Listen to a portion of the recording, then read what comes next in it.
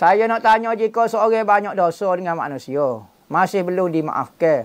Adakah dia layak mendapat syafaat Rasulullah? Adakah masih ada harapan untuk dia selamat bagi situasi dengan syafaat Rasulullah? Gini. Masalah Tuhan sebut di dalam Al-Quran selain daripada dosa kufu. Mati dalam kapi. Bukan dosa kufu.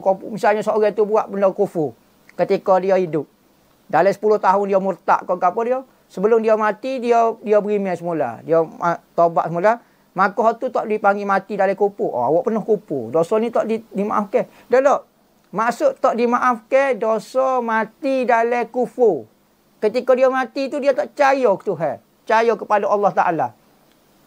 Mati lagu ni saja tak dimaafkan. Apabila dia mati dengan keadaan berimeh, sekalipun dia pernah buat benda-benda kufur sebelum tu, hak tu dimaafkan. Kena faham. Nah. Apabila selain daripada dosa lagu tu, dosa dengan manusia ko, maka tu tak boleh nak kata ada rezeki kalau syafaat Nabi Muhammad, tengok kecek kira pula. Eh. Oh, Nabi Muhammad pergi kecek kawan tu, oh ya Rasulullah mu mari syafaat kamu maaf. Ikulah, hak tu kita tak boleh nak kecek lah. Cuma keedah dia wa man yamu wa lam yatu min zambihi wal amruhu mufawwadun li rabbih. Siapa mati tidak tobat. Berarti mati ada bawa dosa.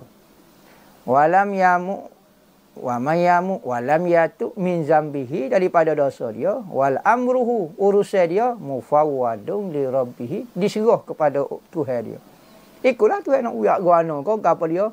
Jaminan tak boleh. Syafaat Nabi Muhammad ya. Nabi Muhammad akan syafaat. Ha tu kena kecek kira pula. Eh ha lagu tu. Syafaat tu ada tetapi tengok kecek kira pula eh ha nak jahat apa setan tak agi buat baik tiba-tiba kah nak suruh Nabi Muhammad kecek kira. Kita nak kata gua no boleh. Insya-Allah harap-harap lagu tu lah. Ni Tuhan Nabi Muhammad tolong.